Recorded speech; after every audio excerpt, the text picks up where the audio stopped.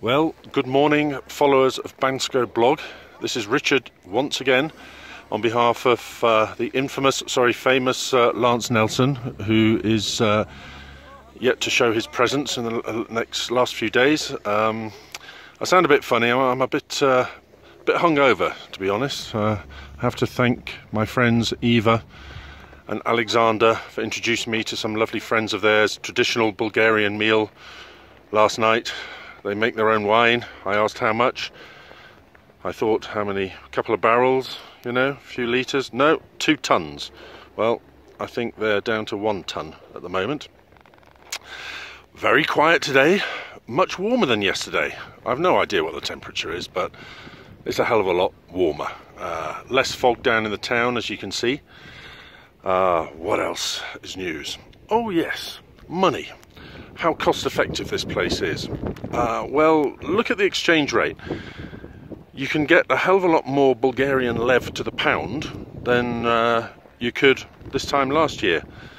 I had a pizza yesterday in the 180 bar. Lovely. It worked out at about 11 pounds, but it was a big, big pizza. Uh, I did check, because I was bored, how much it is in Verbier using uh, Google Maps. 22 pounds for a similar pizza, like a pizza diavolo. So that ain't bad. Right, what else can I say today? Super quiet, hardly anybody here. These people that have joined me, well, they're all the ski instructors, professionals, setting up slalom gates, all that kind of thing. Uh, I need to also uh, plug a friend of mine who runs uh, Valentina Heights. Uh, it's a wonderful boutique hotel. It's normally packed out. In fact, it's packed out at the moment. But if you want somewhere really cool to stay, uh, Valentina Heights, look it up. Uh, Christian does a wonderful job there. Very friendly, great service, lovely food. Also the Belmont and Grand Montana. Uh, that's where I hang out.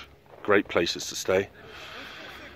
If you're looking to cut out all the hassle when you get here, pre-book your ski hire, your lessons, all that kind of stuff. You can do that on the app. And if you find a or know of a particular good restaurant, then I would suggest also booking that on the app, which you can do. Uh, whether you want to go high end, Kempinski, or if you just fancy a, a pizza somewhere, um, easily done, easily done.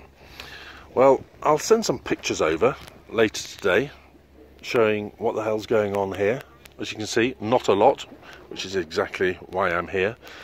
8.47 I got to Banderitsa uh, down, uh, down at the bottom. I think I was pretty much first on the lift. Uh, that's how I like to do it. I like to finish by 12 o'clock, have a couple of beers. Yesterday it was so good that I stayed skiing till about 3.30 with Christian. Uh, that's all for now. Hope to see you soon here. Cheerio.